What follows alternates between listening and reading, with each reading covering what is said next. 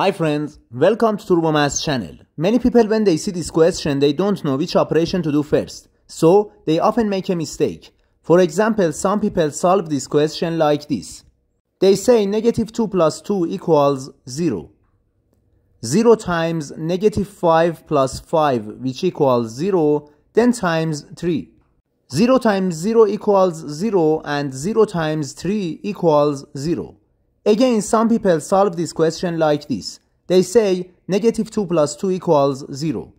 0 times negative 5 plus 5, then times 3.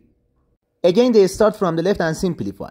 0 times negative 5 equals 0. 0 plus 5, then times 3.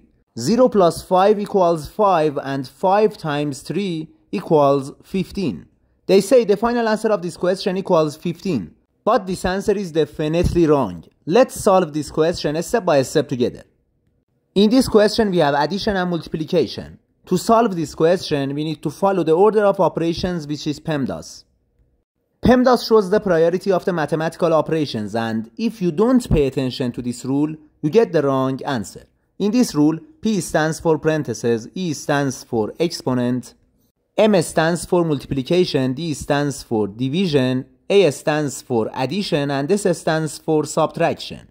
As you know, multiplication and division have the same level of priority, also addition and subtraction have the same level of priority.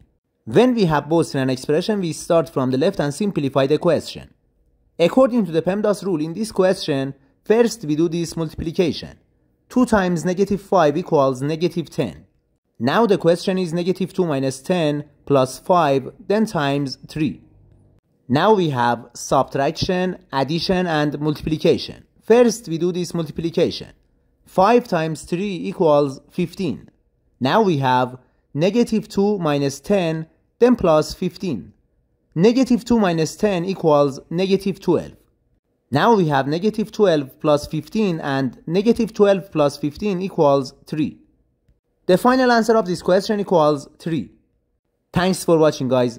Please subscribe to the channel and leave a comment. Goodbye.